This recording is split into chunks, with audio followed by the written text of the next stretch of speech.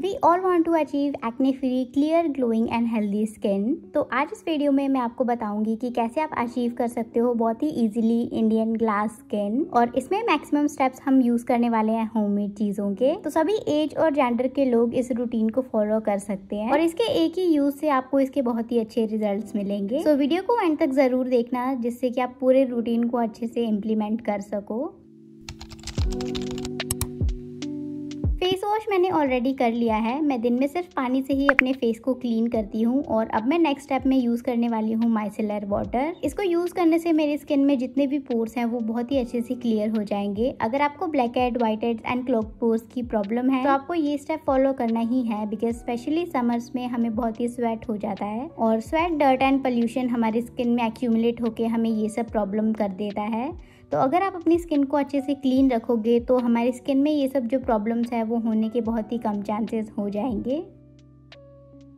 इसके बाद मैं यूज़ करूँगी raw milk as a cleanser it is known for its gentle yet effective cleansing properties और इससे फेस को क्लीन करने के बाद फेस बहुत ही ज़्यादा सॉफ्ट एंड सपल हो जाता है। रॉ मिल्क में लैक्टिक एसिड प्रेजेंट होता है, जो हमारे पोर्स को जेंटली एक्सफोलिएट करता है। जितनी भी impurities dirt and dead skin cells होती है, उन सभी को ये बहुत ही अच्छे से रिमूव कर देता है। और अगर आप अपनी स्किन को अच्छे से क्लीन रखोगे तो आपके स्किन में इसी स्टेप से जो मैक्सिमम स्किन कंसर्न है, वो सॉल्व हो जाएँगे। फेस से सारे डर्ट एंड इम्प्योरिटीज को रिमूव रिमूव करने के बाद मैं करूँगी स्टीमिंग इससे हमारे जो पोर्स है वो ओपन अप हो जाते हैं और अभी हमने जो स्टेप्स किए हैं, उससे हमने अपनी स्किन की अपर लेयर है, उसको क्लीन किया था। पोर्स को डीपली क्लीन करने के लिए हम सबसे पहले अपने पोर्स को ओपन अप करेंगे। फॉर दिस स्टेप आप यूज़ कर सकते हैं फेस स्टीमर या फिर अगर आपके पास वो नहीं है तो आप यूज़ कर सकते हो मेरी सेम टेक्निक इसके लिए आपको पानी को गर्म करना है एंड किसी भी क्लोथ को डिप करके अपने फेस पे लगाना है। इसको आपको पाँच से दस मिनट तक फॉलो करना है। इससे आपके फेस पे जितने भी पोर्स है वो ओपन अप हो जाएँगे।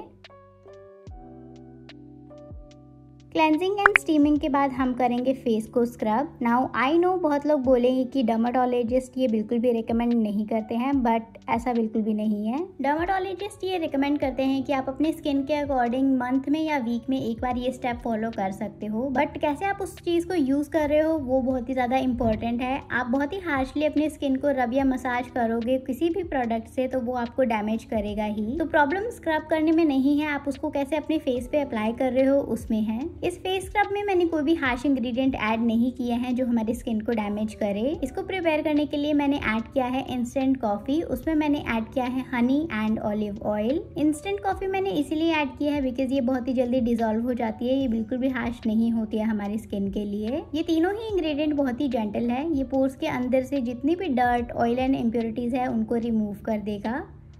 सेंसिटिव स्किन के लिए मैं रिकमेंड करूँगी कि आप स्टीमिंग एंड एक्सफोलिएशन को मंथ में सिर्फ़ एक ही बार करो और नॉर्मल स्किन टाइप वाले आप वीक में इस रूटीन को एक बार फॉलो कर सकते हो। अब हमारी स्किन अंदर एंड बाहर दोनों साइड से ही क्लीन हो गई है। तो अब हम अप्लाई करेंगे मेरा फेवरेट फेस पैक जिसको यूज़ करने से आपके स्किन में जितनी भी tanning pigmentation dark spot uneven skin tone और उसी के साथ में जो एक्ने हैं लाइक ओवरऑल जितनी भी आपकी स्किन कंसर्न है, वो सभी क्योर हो जाएँगे। उसी के साथ में द बेस्ट पार्ट इज़ इसको सभी age gender and skin type वाले यूज़ कर सकते हैं। इसमें जो मैंने फ़र्स्ट इंग्रेडिएंट ऐड किया है, वो है बेसन, जो अगेन हमारे स्किन को क्लीन करने में हेल्प करता है। उसी के साथ में tanning dark spot spot pigmentation, इन सभी स्किन कंसर्न को वो क्योर करता है। सेकेंड इंग्रेडिएंट जो मैंने ऐड किया है वो है turmeric which has an anti inflammatory properties जो एक्ने को क्योर करता है और स्किन को सूद करने में हेल्प करता है। And the last one is curd which is my favourite ingredient खाने में भी और लगाने में भी। कर्ड जितना खट्टा होगा, उतना ही इफ़ेक्टिव होगा हमारी स्किन के लिए। कर्ड में भी लैक्टिक एसिड होता है और ये भी हमारी स्किन को हाइड्रेट एंड नरिश करने में हेल्प करेगा। इसको मैं 10 से 15 मिनट तक अपने फेस पे रहने दूँगी एंड देन नॉर्मल पानी से वॉश कर लूँगी।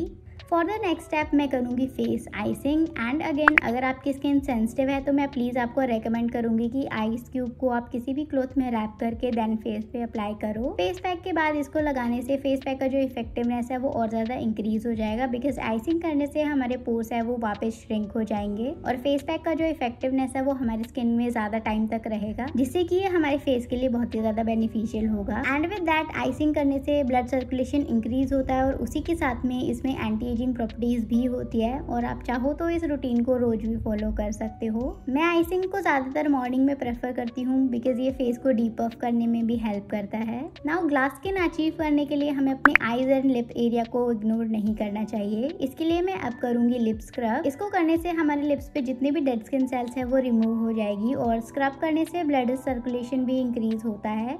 तो ये स्टेप करने से हमारे lips naturally pink and soft हो जाएँगे। जिनको भी पिगमेंटेड लिप्स का प्रॉब्लम है, मैं उनको रिकमेंड करूँगी कि आप ये स्टेप वीक में ज़रूर से फॉलो करो। इससे आपको बहुत ही अच्छे रिजल्ट्स मिलेंगे। इसके लिए मैंने जो स्क्रब यूज़ किया है, वो है बेलाविटा का लिप स्क्रब मैं सभी प्रोडक्ट के लिंक आपको डिस्क्रिप्शन एंड पिन कॉमेंट में प्रोवाइड कर दूँगी। नेक्स्ट फॉर माई आईज़ में यूज़ करूँगी आई क्रीम मेरा स्क्रीन टाइम बहुत ज़्यादा है तो इसीलिए मुझे बहुत बार डार्क सर्कल्स का प्रॉब्लम हो जाता है। इसीलिए लिए मैं यूज़ कर रही हूँ डर्माको की अंडर आई क्रीम इसको लगाकर मैं अच्छे से मसाज करूँगी सो so देट ये मेरी स्किन में अच्छे से एब्जॉर्ब हो जाए। उसके बाद मैं अप्लाई करूँगी toner this is my all time favourite because ये ग्लास स्किन को अचीव करने में बहुत ही ज़्यादा हेल्प करता है. इसमें सैरामाइड्स हैं जो कि हमारी स्किन में मॉइस्चर को होल्ड करके रखता है, जिससे हमारा फेस है वो throughout the day glowing and hydrated लगता है. और ये हेल्प करेगा कि आपकी जो स्किन है वो ट्रांसफॉर्म हो जाए ग्लास स्किन में. उसके बाद मैं यूज़ करूँगी सीरम नाउ सीरम आपको अपनी स्किन कंसर्न के अकॉर्डिंग ही चूज़ करना है. जैसे अगर आपकी skin oily and acne prone है तो आप सैलिसिलिक एसिड यूज़ करोगे.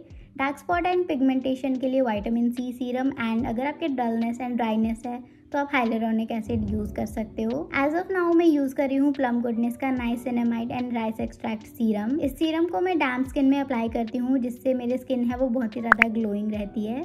नेक्स्ट मैं यूज़ करूँगी सनस्क्रीन अगर आप लास्ट स्टेप सनस्क्रीन नहीं अप्लाई करोगे देन इससे पहले आपने जो भी स्टेप्स किए हैं वो टोटली वेस्ट हो जाएँगे। सो इट्स वेरी इंपॉर्टेंट कि आप चाहे कितने भी स्टेप्स का स्किन केयर रूटीन फॉलो करो। लास्ट में आपको सनस्क्रीन लगानी ही है। इस स्टेप को बिल्कुल भी स्किप नहीं करना है। इन सभी स्टेप्स को फॉलो करने से आपकी स्किन है, वो हील भी रहेगी एंड उसी के साथ में ये प्रोटेक्टेड भी रहेगी। एंड ओवरऑल आप अचीव कर पाओगे एक हेल्दी एंड ग्लोइंग स्किन आज का वीडियो अगर आपको हेल्पफुल लगा हो तो please like this video and subscribe to my channel और मैं आपसे मिलती हूँ मेरी नेक्स्ट वीडियो में।